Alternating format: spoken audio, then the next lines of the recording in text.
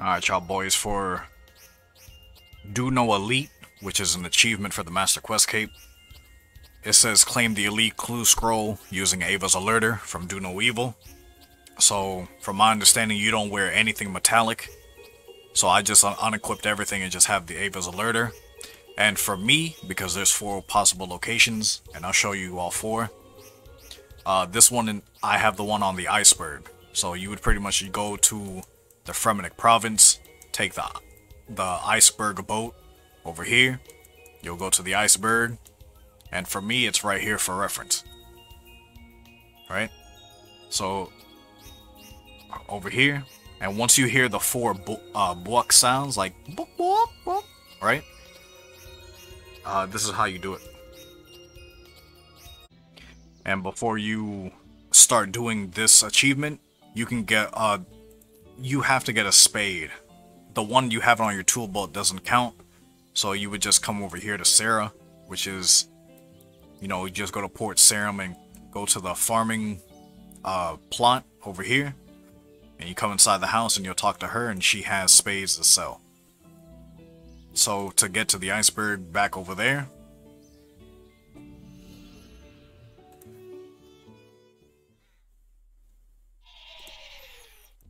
Alright, just come to Fremennik Province.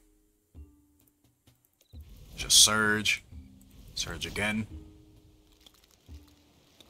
Travel iceberg boat. Yep.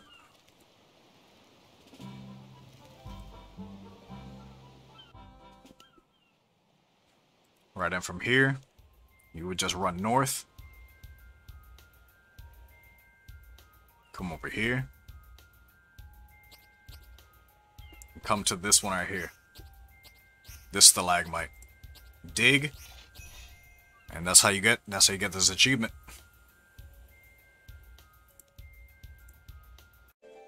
So right here would be a, a possible spot of one of the four locations is in Tirwin. And this will be one of the locations. So the other location on Lunar Isle, it'll be from here. So you would just go from the lunar lodestone and you'll come south to about here. Right? It may not be exact because mine was over there on the iceberg, so it's going to be over here. You know, quote unquote. So you, you just run south from the entrance, run over, and it'll be in this general area right here. It'll be in this general area. And the last location, if you have a Drakan's Medallion, you would click it, go to Meiyerditch Laboratories, climb up the staircase.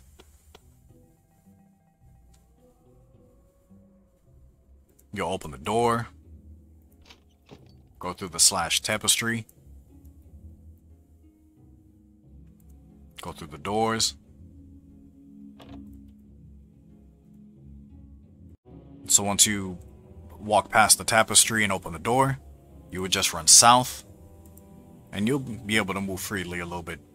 So just run south a little bit, and click right here.